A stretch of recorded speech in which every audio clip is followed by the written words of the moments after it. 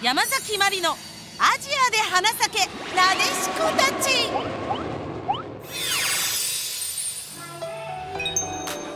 今タイで日本のコスプレが話題を呼んでいます。そのブームの火付け役ともなったのが今回の主人公。雑誌編集長の重野誠さん。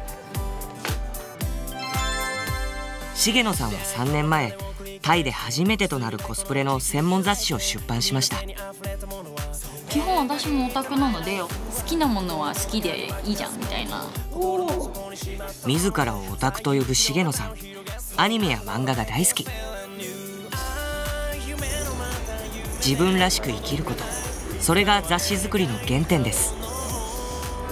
時にはコスプレで大変身雑誌編集の傍ら若者たちの相談相手にもなりますแล้วสมมติพอมีวิธีไหนบ้างคะที่แบบครอบครัวที่แบบไม่รู้จักหรือว่าไม่สนับสนุนเรื่องนี้เรื่องบันเทิงว่าถ้ามีหนังสือว่าปอมเมก็เดินง่ายขึ้นเห็นเห็นบ่อยๆขึ้นใช่ไหมคะその姿を漫画家の山崎まりさんが見つめますコスプレをする若者を応援したいオタクなでしこの 奮闘を追いました。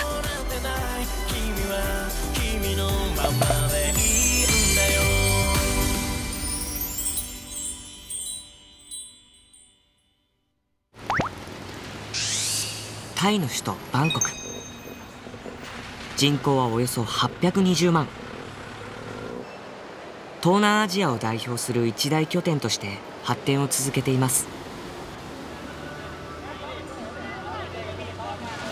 こんな大都会だとはちょっと知らなかったですね。初めてタイを訪れるという漫画家の山崎まりさん。街を歩いていると黒羊日本の漫画の大きな看板を発見。中に入るとうわ日本の漫画屋じゃないですかこれ。ただ全部タイ語だっちゅうタイでは今日本のポップカルチャーが大人気。この店のおよそ8割は日本の漫画。全てタイ語に翻訳されています。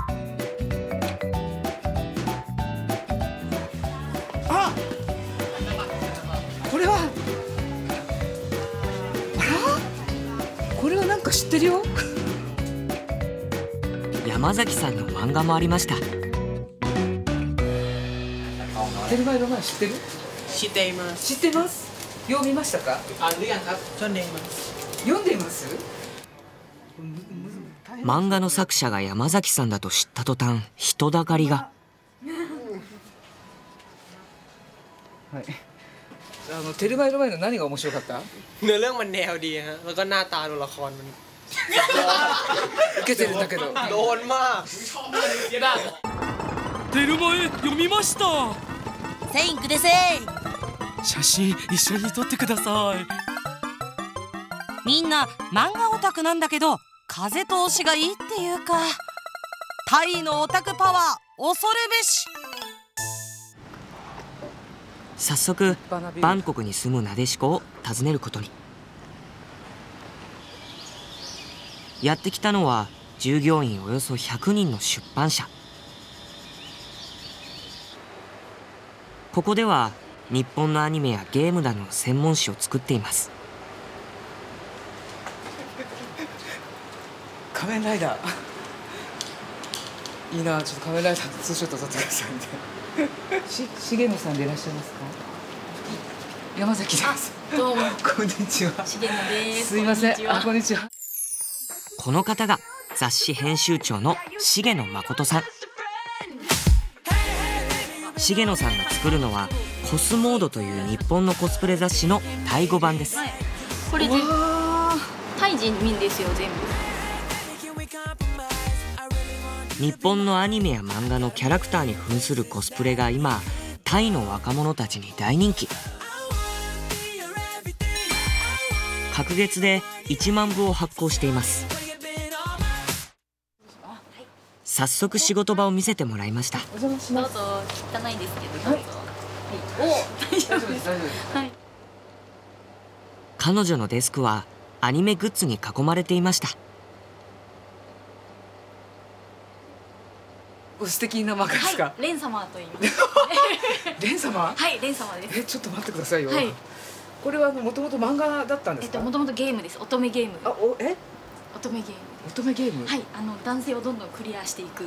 攻略していえちょくゲーム。ちょっと待ってちょっと待ってちょっと待ってえっと待って乙女ゲームが男性を攻略してクリアしていく、あの男性の全然わからない。今タイ語を聞いてるようにわからない。え？編集部のスタッフはわずか3人。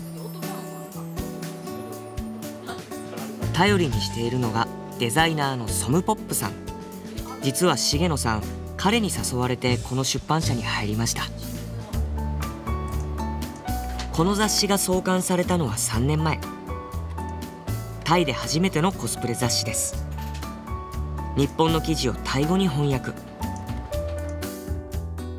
キャラクターになりきるためのメイクの仕方からカツラや衣装の作り方。さらにタイのコスプレイベントなどオリジナルの情報も満載です。中でも重野さんが力を入れているのがタイの読者のスナップ写真毎回雑誌で取り上げるのはなんと400人に上りますえっと、はい、この一束が一回のイベント。うわはい、結構います。ーてかはい、バンコクの人全員コスプレしてんじゃないのっていうぐらいいっぱいいません？人数いますよね。すっごい。基本私もオタクなので好きなものは好きでいいじゃんみたいなそしてあの発表の場があればみんなでも楽しめるし特にあのタイ人の子たちがあの写真とか好きなので載せたらきっと喜ぶだろうなという。今タイでは毎週のようにコスプレイベントが開かれています。彼らはコスプレイヤーと呼ばれ10代から20代の若者が中心です。好きなキャラクターを全身で表現します ก็มันเหมือนได้มาอยู่ในโลกการ์ตูนด้วยอะค่ะ เป็นสังคมรูปแบบหนึ่งนะครับมันเป็นสังการเข้าสังคมรูปแบบหนึ่ง การมีเพื่อนที่สนใจแนวเดียวกัน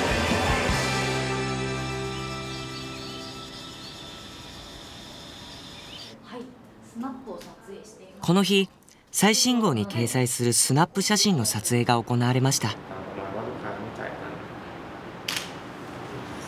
初めて見るなこういうの。コスプレをするのは22歳のポーンティップさん。常連の読者モデルです。彼女は趣味が高じてコスプレの衣装を作る仕事を始めました。衣装はもちろん自前。でも満足のいくポーズが決まりません。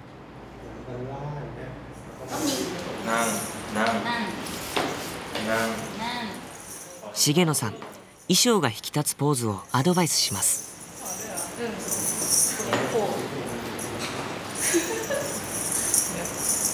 どういう指示を出してらっしゃるんですか？えっとですね、これ、これがですね、その漫画なんですよ。このポーズを試してやってみるんですよ。あ、これだ。こういう感じ。はああなるほどい。ポーンティップさんのポーズも見事に決まりました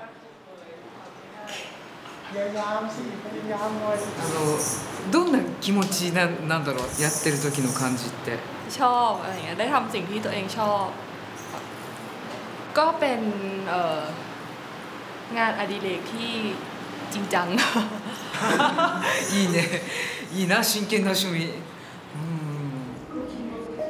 読者のスナップ写真を撮影する際重野さんが大事にしていることがあります それは心置きなくコスプレを楽しんでもらうこと。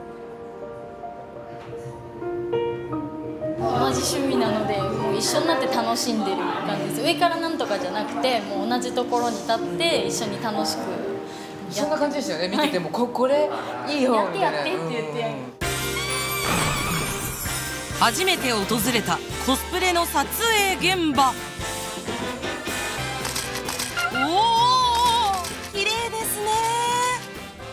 編集長の重野さんもとても楽しそう。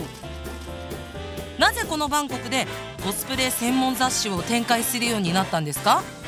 ここでは自分の好きなことを思いっきりやっても誰からも品縮を買わないからです。重野さんは14年前にタイに渡りました。会社のそばにアパートを借りて一人暮らしをしています えっと、こんこんな腐れ部屋でございます。失礼します。家賃は日本円でおよそ1万8000円。ワンルームの部屋にキッチンはありません。食事はすべて外食です。部屋にあるのは大量の漫画。日本から取り寄せて年間200冊は読むといいますうまいこういうまいじゃない。ちょっと寝る前になんか妄想しちゃってこう書いちゃって寝たりとか。重野さんが特に好きなジャンルはボーイズラブ。通称 BL 男性同士の恋愛の世界が描かれています。確かにいたい。た私の周りにも BL 好きが。山崎さんは BL とか読まないんですか？BL いやまだ読んだことは。でも読み始めるとおおそれってすごく絵が綺麗なんで大好きなんです。BL に目覚めた重野さん同級生にも勧めてみますがこれ面白いよ。周囲の反応は冷ややかでした。ある種ちょっと気持ち悪いセクションに入っちゃうっていうあれだったんですけど、まあ、どうしても好きで。抜けきれなくて。抜けきれず。もう不女子でしょっていう、うん。まあそうなんですけど。好きですって言うともうはい。不女子ですって言ってはい。るもんだもんね、でもちょっとキモいにまだまだありますね。やっぱりある。はいあります。自分たちと同じような意見を持たなかったら違う、うん。だから排除みたいな。排除みたいな。はい。そこがね、うん。すごく不思議で、重野さんは高校卒業後地元福岡でデザイナーの仕事に就きました。しかし漫画好きな自分をなかなか受け入れてもらえず息苦しさを感じていました。そんな時に出会ったのが今同僚のソムポップさんです。日本に留学に来ていた彼からタイの出版社で一緒に働かないかと誘いを受けました。 พอดีคุณมาโกโตะเขาเป็นเหมือนโอทาคุอะครับเขาชอบเรื่องการ์ตูนเลือกอนิเมะอยู่แล้วแล้วที่นี่ก็ทำหนังสือเกี่ยวกับพวกนี้อยู่ คิดว่าเขาน่าจะทำได้ก็เลยชวนมาครับ 24歳でタイに渡った重野さんグラフィックデザイナーとして今の出版社に就職しました日本を飛び出し初めて暮らすタイ 女装する男性も珍しくない開かれた社会に驚きました。ここではみんな自由だわ。やっぱじゃあタイに来た時にもうあここは私のはい。暮らす場所だみたいな、はいもう楽具と思って、もうあのま誠も不女子なのって言われて、うん。あ不女子ですって言ったらめっちゃ喜んで何が好きなの、えーみたいな感じはい、でうんうん。仲間って感じで、うん全てが抜けていきましたもう楽だなと思って。タイの人が明るいしおおらかだし、はい。なんかそういうボーダーが全然ないもんね。そうなんですよ。すっごい優しいし、優しい。楽ちんです、はいすごく。うん、何も恥ずかしくないですからね、好きなんだから。いやいいです。もう多いんですじゃあお疲れ様でした。お疲れ様でした。重野さんはタイで本音で語り合える仲間と出会い友人の輪を広げていきました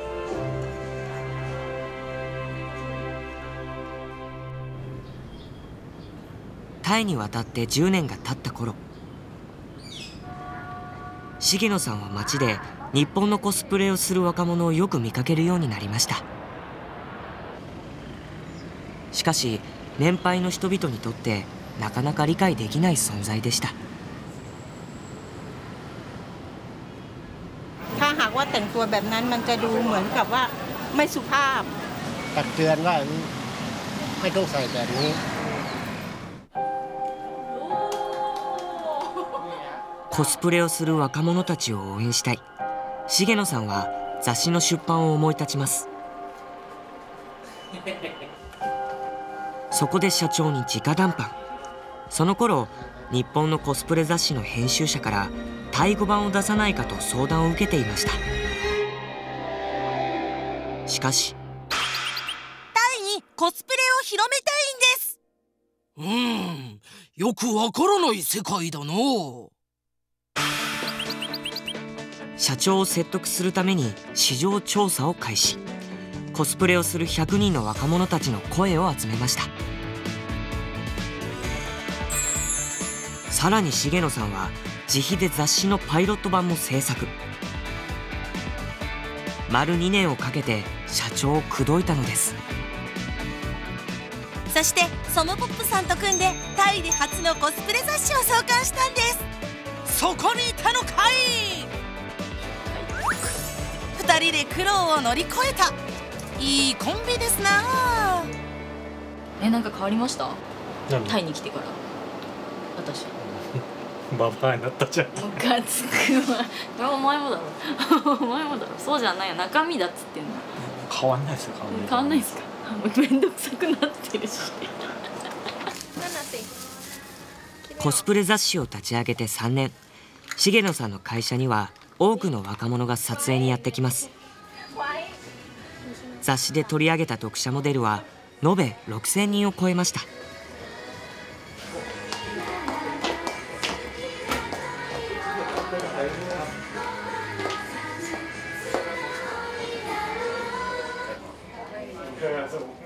撮影の合間読者モデルから相談を受けることもしばしばです。 อมีวิธีไหนบ้างคะที่แบบครอบครัวที่แบบไม่รู้จักหรือว่าไม่สนับสนุนเรื่องนี้เรื่องบันเทิงเด็กๆหลายคนว่าอะไรนะพ่อกับแม่ไม่ยอมใส่ชุดแบบนี้เพราะว่าเหมือนมันไม่ปกติใช่ไหมครับแต่ว่าถ้ามีหนังสือว่าพ่อแม่ก็เดินง่ายขึ้น เห็นเห็นบ่อยๆขึ้นใช่ไหมครับอันนี้อยากช่วยทุกคนสนุกขึ้นเลย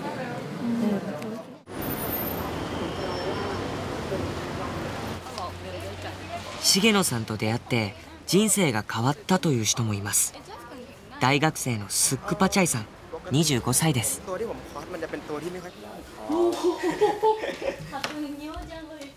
彼の部屋には小学生の頃から集めているという日本の漫画がずらり。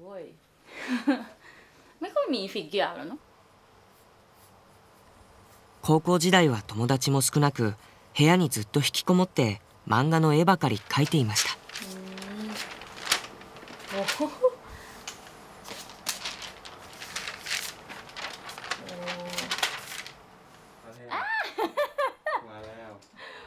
大学に入ってコスプレを始めました。当初は両親に反対されたといいます。転機が訪れたのは去年8月。彼のコスプレ写真が重野さんの雑誌に掲載されたのです เพราะมีหนังสือคอนหมวดแม่ก็เลยแบบเอ้าไหนมึงบอกไปถ่ายรูปเอาไปให้ดูก็เอาไปให้ดูก็ตามพวกนั้น อ๋อดีจัง เขาก็เลยเริ่มแบบเปิดเปิดใจนิดนึงทีละนิดทีละนิดได้ลงมาได้ อ๋อแล้วค่ะ ฮะ ดีดี コスプレを始めて友達も増えました将来を心配していた両親も息子の変化に驚きを隠せません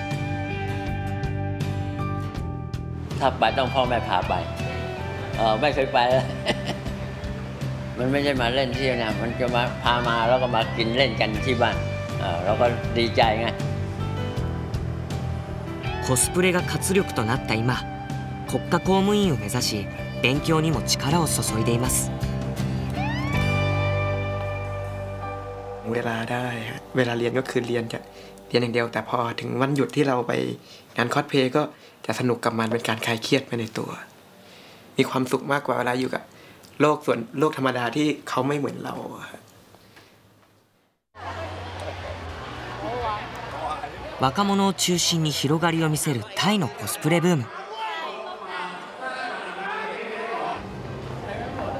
山崎さんが訪れたのは最近バンコクに初めてオープンしたメイドカフェ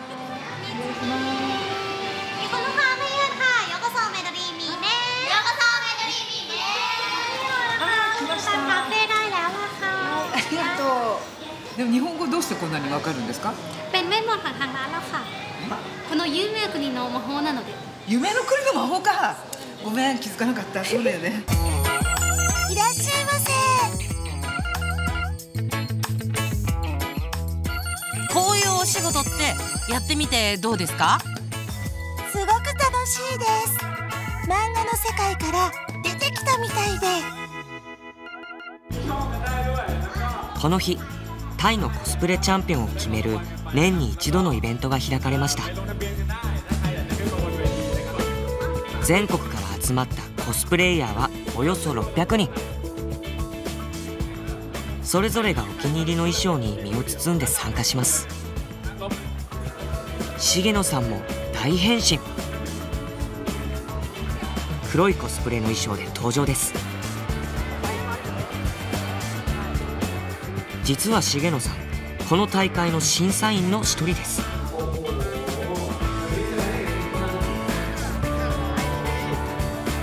大学生のスックパチャイさんです。AKB の応援をするオタクを演じます。この日のために衣装の生地を選びデザインを考えました。気合十分です。 เอ่อใหญ่โตอลังการดีครับผมใหญ่กว่าปีที่แล้วเยอะเลยฮะก็น่าจะสนุกกว่าปีที่แล้วครับผม パフォーマンスが始まりました持ち時間は10秒演技や衣装の出来栄えを競います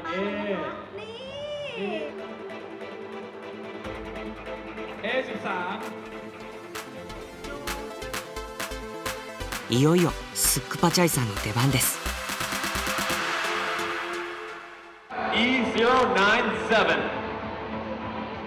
堂々とした登場。そして手を回転させる応援ポーズ。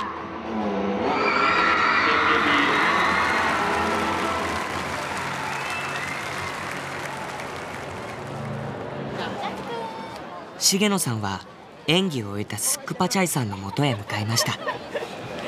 ไงบ้างเนี่ย ก็อันนี้ก็สนุกดีเหนื่อยดีครับ เหนื่ ผ อย ม ดีแล้วเนอะ ครับผมร้อนด้วย มันไม่ไม่ค่อยไม่ค่อยอะไรนะเต้งอะอ่าฮะฮะเล่นเล่น เล่นเล่นเล่นเอาสนุก อ่า ดีนะ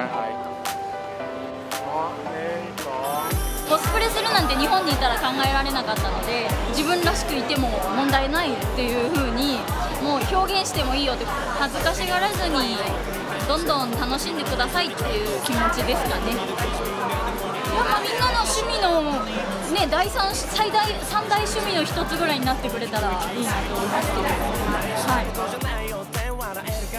い、重野さんと過ごした日々を山崎さんはどう感じたのでしょうか？重野さんと出会って私の潜在意識のオタクスイッチもしっかり入ったバンコク滞在。タイはさまざまな人々の生き方がリスペクトされる国。私もなんだかとっても開放感。好きなことをとことんやることを楽しめる。そしてそれが許される。そんな国がタイなのかなと、うん。日本をつなぐ架け橋じゃないですか彼女って。タイで。どんどん楽しんでもらいたいっていうそういうアプローチを一生懸命やってる人ですから。もうもう大いにどんどん。それで何をやっても苦労しても全部楽しいって思えるタイプの人ですからね。からそれすごい楽しみですねやっぱり。